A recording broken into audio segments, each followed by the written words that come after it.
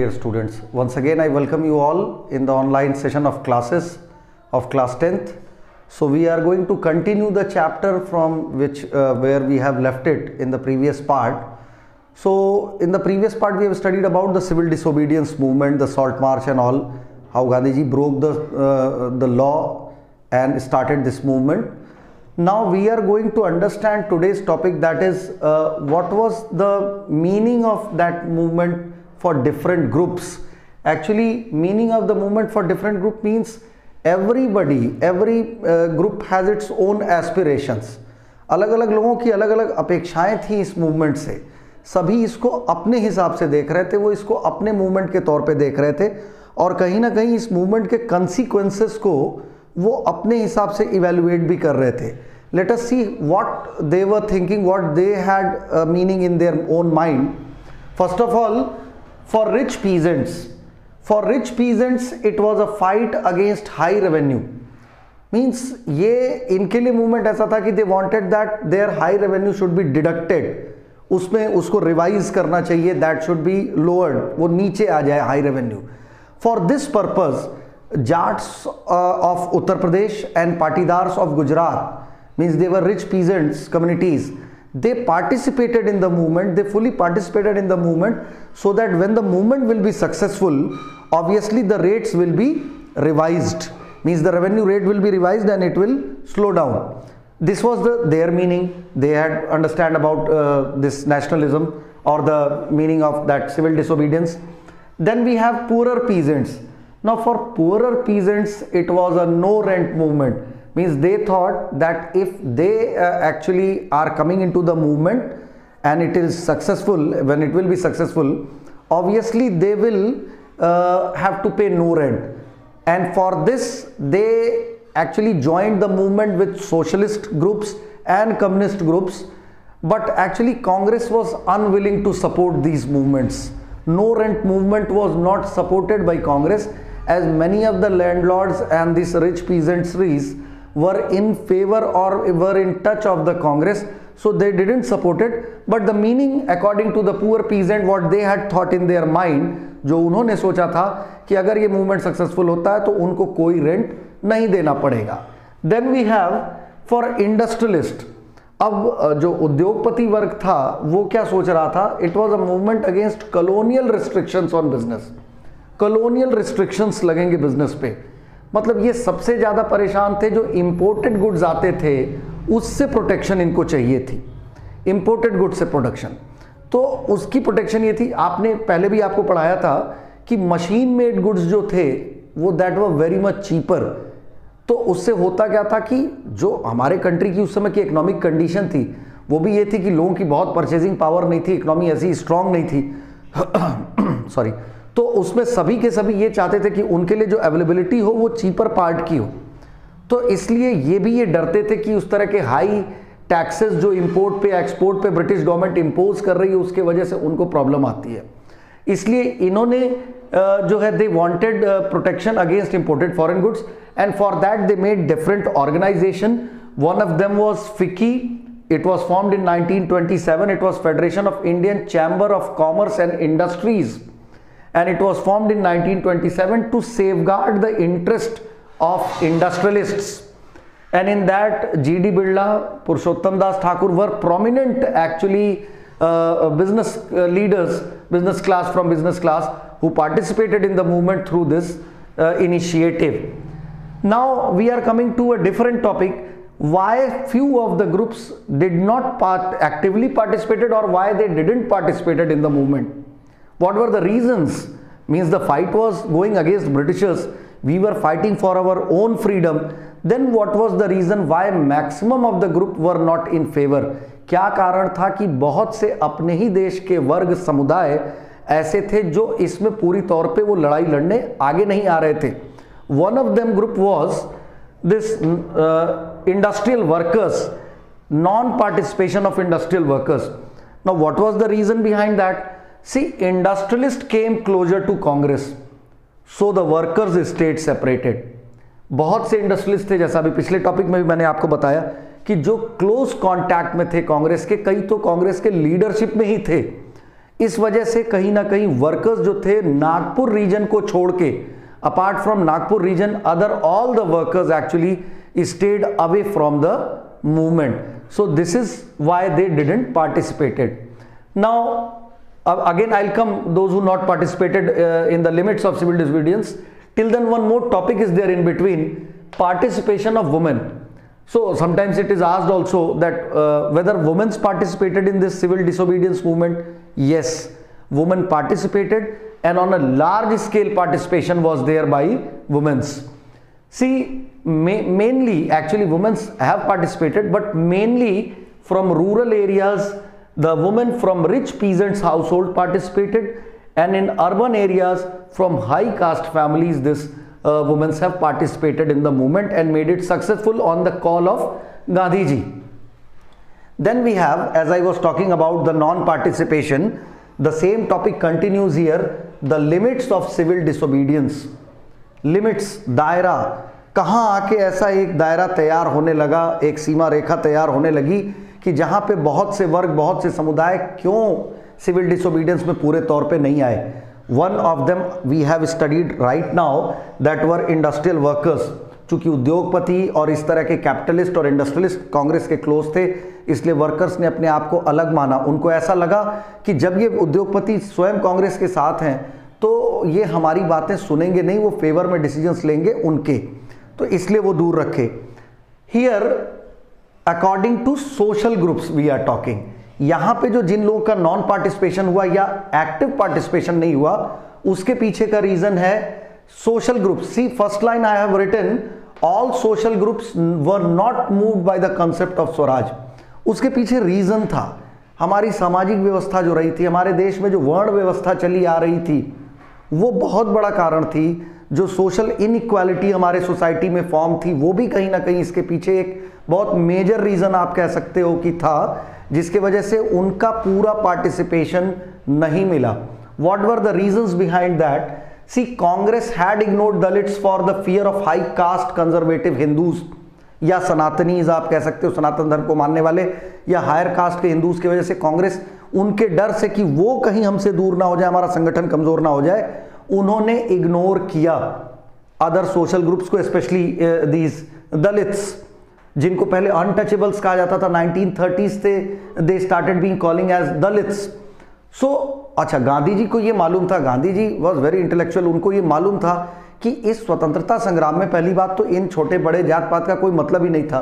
दूसरा ये कि जब ये स्वतंत्रता आंदोलन था तो ये पूरे देश के लिए था। किसी एक व्यक्ति, व्यक्तिगत किसी जात या संप्रदाय के लिए आज़ादी नहीं ली जा रही थी। ये पूरे देश के लिए आज़ादी ली जा रही थी। तो ऐसे में जब हम पूरे देश के लिए लड़ रहे हैं और हमारे समाज का एक वर्ग खड़ा होकर सिर्फ़ लड़ाई देख रहा हो तो संभव नहीं है कि हम लड़ाई जीत पाए। सभी वर्गों को आना ही पड़ेगा। तो ऐसे केस में गांधी जी ने इनके लिए सत्याग्रह ऑर्गेनाइज किया, इनके अपलिफ्टमेंट के लिए ऑर्गेनाइज किया कि ये भी मुख्य धारा में आए। They should also come in to the main stream of the society the reason means the point sorry the points were see he organise Gandhi ji organise the satyagraha for Dalits called them Harijans उनका नाम हरिजन रखा children of God then he secured their entry in to temples access to public wealth tanks roads and schools ऐसी जगहों पे जो सामाजिक जगहें थी, चाहे वो कुएँ हो, जो पब्लिक वेल्स की बात हो रही है स्कूल्स में जाना हो या टेम्पल्स में, मंदिरों में प्रवेश पे रोक थी उस समय में, ऐसी जगहों पे उनकी एंट्री को सिक्योर कराना शुरू किया, जिससे उनके में भी समानता का भाव आए और वो भी ये महसूस करें कि वो समाज का ही अंग है। They are part of the society and equally they are also valuable for country then Gandhi ji himself clean the toilets उनकी आदत थी, वो हिमसेल्फ खुद ही टॉयलेट साफ़ करते थे. And that was only to give a message that to dignify the work of sweepers कि उस काम को छोटा काम ना समझा जाए।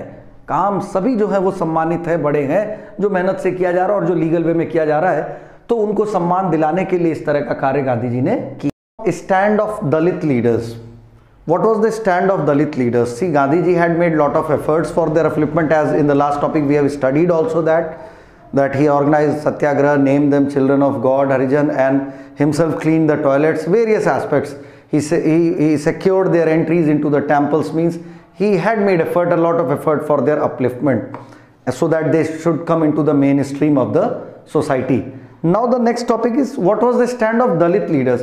Actually, they wanted a different solution of their problem. Means Dalit leaders wanted a different solution of their problem.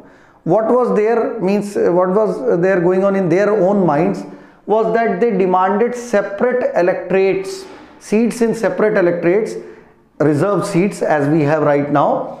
A few of the seats are reserved for scheduled caste, scheduled tribes and in educational institutions they wanted a reservation actually they wanted a reserved seat so that the seat should be secured in educational institution also as well as in electorates also see dr br ambedkar dr bhimrao ambedkar he organized depressed class association in 1930 mobilize किया उन लोगों को और एक ये संगठन बनाया depressed class association doctor Bhimrao Ambedkar ji ने 1930 में और कंप्लीटली जब सेकेंड राउंड टेबल में ये बैठे गांधी जी के साथ during the second round table conference there was a difference in the views of Gandhi ji and doctor B R Ambedkar what was the difference actually doctor Ambedkar was supporting the demand of the Dalit leaders that they should have a separate electorates Gandhi ji was not favour of doing that see Gandhi ji said that this will disintegrate the movement which he has started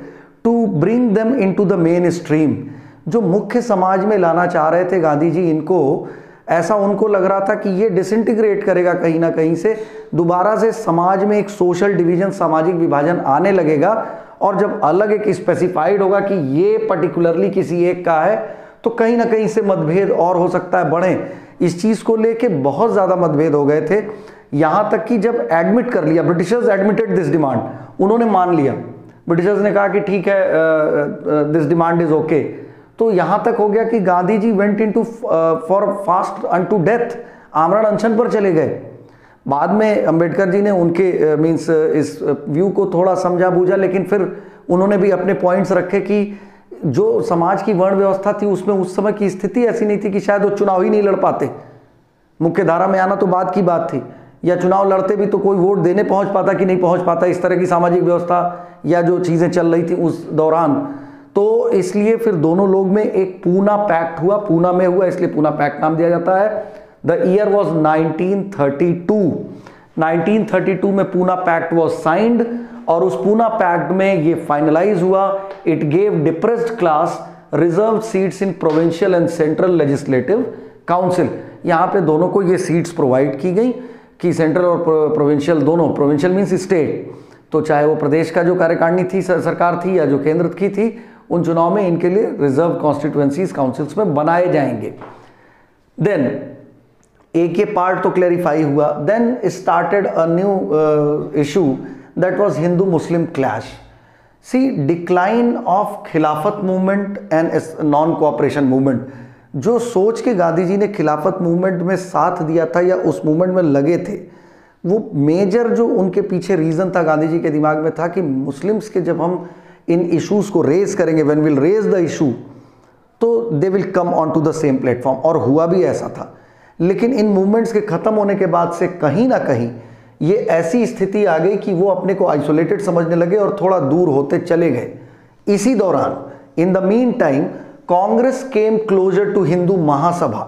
Hindu Mahasabha 1920s के era में mid 1920s में Congress started coming closer to Hindu Mahasabha और उसका एक नतीजा ऐसा निकलने लगा कि मुस्लिम्स अपने आप को थोड़ा सेपरेट करते चले गए और बाद में ये रिलेशंस जो थे वो थोड़े वर्स होते चले गए। स्थितियाँ और विकट होती चली गई और उसका नतीजा ये निकला कि हिंदू मुस्लिम राइट्स स्टार्ट होने लगे।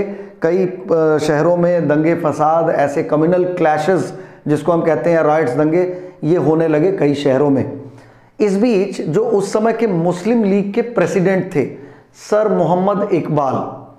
देखिए थोड़ा सा आप कंफ्यूजन में मत आइएगा बच्चों क्लास टेंथ स्पेशली कि आप कई बार मुस्लिम लीग प्रेसिडेंट चूँकि मोहम्मद अली जिन्ना का नाम ज़्यादा कॉमन है, ज़्यादा पॉपुलर है तो कई बार क्या होता है कि हम कोई क्वेश्चन आया वन मार्क्स में who was the president of Muslim League तो बहुत से बच्चे लिख जाते हैं Mohammad Ali Jinnah. That is why I have written here also and made a star also there so that it should be very much clear to you all. ये one marks question हमेशा बहुत important होते हैं और उतने ही dangerous होते हैं क्योंकि वन मार्क्स में आपका कुछ जो गलत हुआ वो कंप्लीटली गलत हो जाता है और सही हुआ तो पूरा नंबर मिलता है। तो और इसी वजह से आज के चैप्टर में मैंने ज़्यादातर पॉइंट्स पॉइंट्स में मेंशन किया है जिससे आप भी उसको समराइज करते समय, लिखते समय आपके लिए भी कन्वीनियंस हो। तो यहाँ जो 1930 में sir Mohammad Iqbal president of Muslim League demanded a separate electorate for Muslims अब इन्होंने भी वो डिमांड ले आ दी कि हम सेपरेट इलेक्ट्रेट मुस्लिम्स के लिए फॉर्म करें। एक डिमांड ये आई।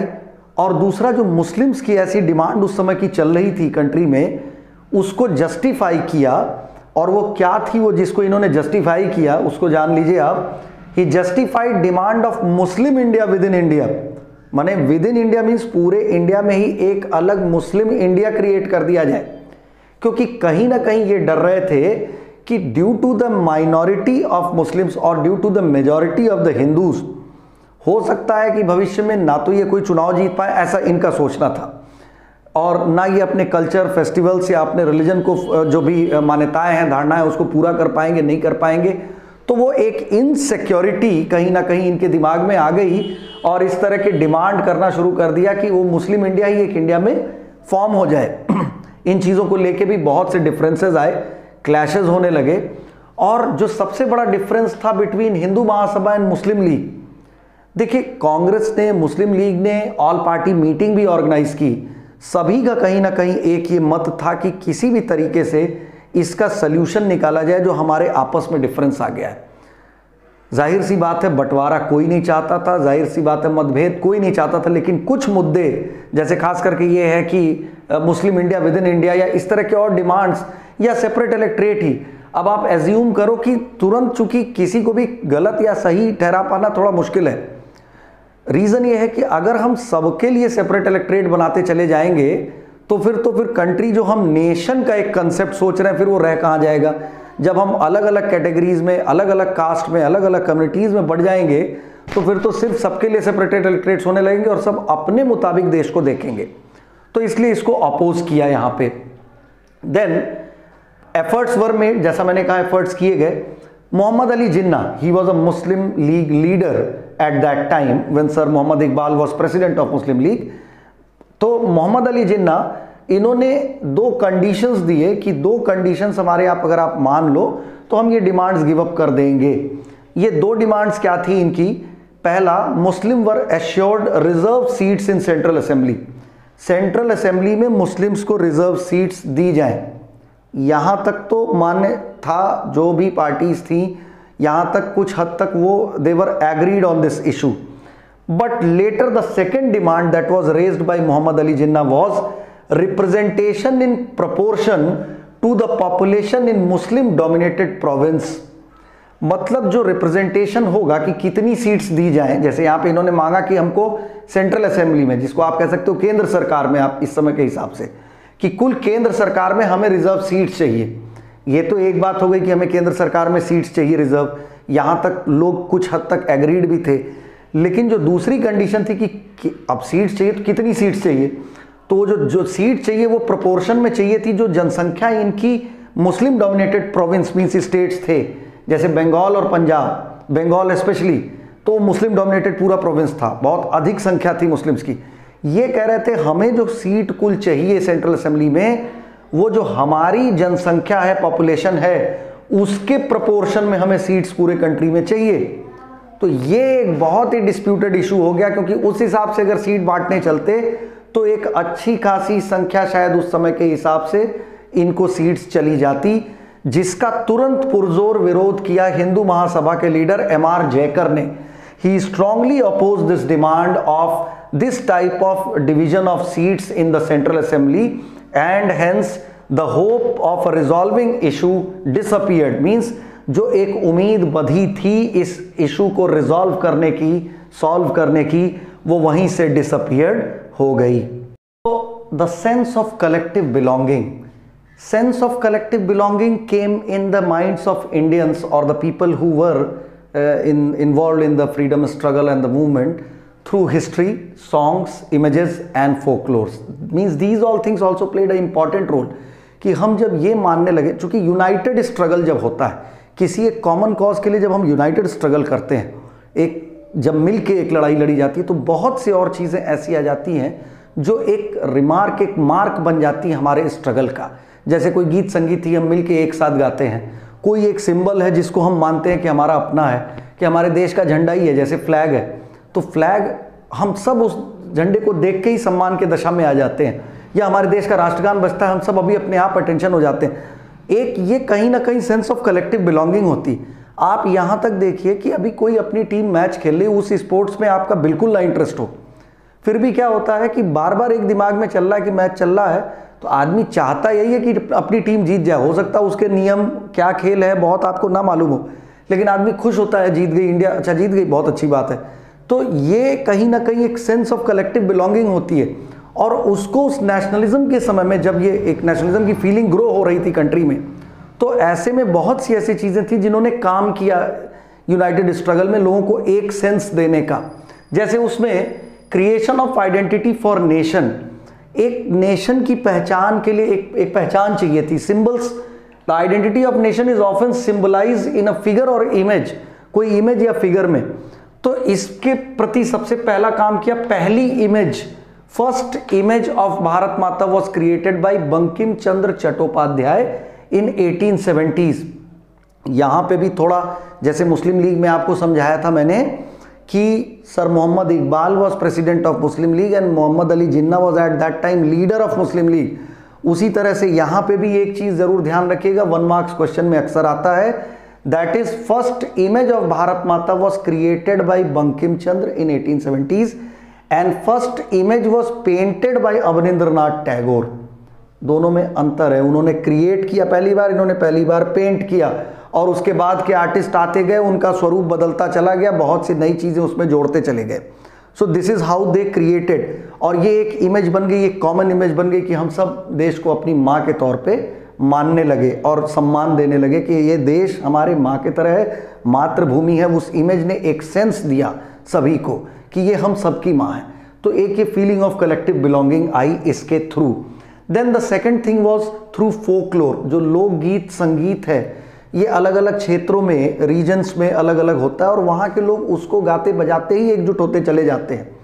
इसका एक मैसिव कलेक्शन तैयार किया। This was created by the great Rabindranath Tagore of Bengal and Natesa Sastri in Madras इन दोनों लोगों ने क्या किया? They they had they collected the massive collection of this folk song and folk tales जो लोकगीत थी या जो लो, लोक कथाएँ थे, जो उस पर्टिकुलर क्षेत्र के रीजन के थे, उनका एक मैसिव कलेक्शन किया रविन्द्रनाथ टैगोर और नतेशा शास्त्री ने, जो कि वो भी मूवमेंट में काम आया।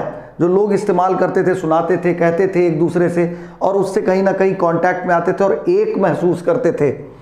Then designing of national flag एक फ्लैग जैसे मैंने कहा कि फ्लैग अल्टीमेटली पूरे नेशन को रिप्रेजेंट कर देता है।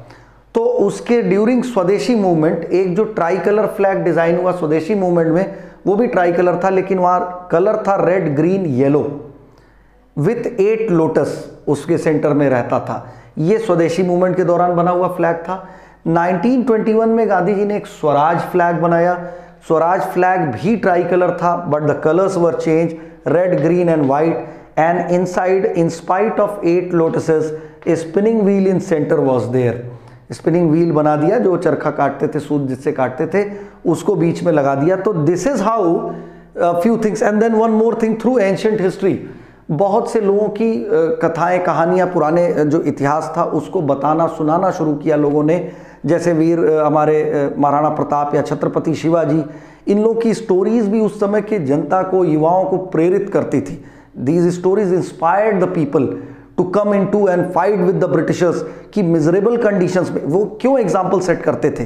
क्यों शिवाजी की और महाराणा प्रताप या और ऐसे शूरवीरों की कहानियाँ उस समय एंशंट हिस्ट्री बताई जाने लगी, जिससे लोग अपने को रिलेट करने लगे? क्योंकि इन लोगों ने भी एडवर्स कंडीशंस में जो कोई भी उस समय दुश्मन था, उससे लड़ाई लड़ी और उसके आगे आए।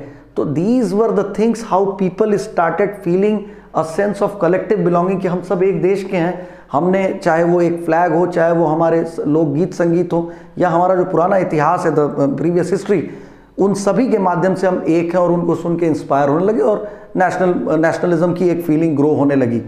तो कहीं ना कहीं अगर कंक्लूजन में हम कहें कि growing anger against the colonial movement and due to their policies और the restrictions they have made on Indians ये जो ग्रोइंग एंगर था, इसने कहीं ना कहीं वेरियस क्लासेस को वेरियस रिलीजन्स को कम्युनिटीज़ को एक प्लेटफॉर्म पे लाया और नेशनलिज्म की फीलिंग एक नेशन की फीलिंग आई और जिससे हमारा नेशनलिज्म जो नेशन के लिए स्ट्रगल था या जो फ्रीडम स्ट्रगल था वो पॉजिटिव तरफ़ बढ़ते चला गया और ultimately we got freedom from Britishers so this is the complete chapter number three now the chapter is over so go through the ncrt book if you are having or uh, for your convenience this time in the, this third part i have written it point later on in the next videos also i'll write it in in the points so that you are convenient to it will be convenient for you to study.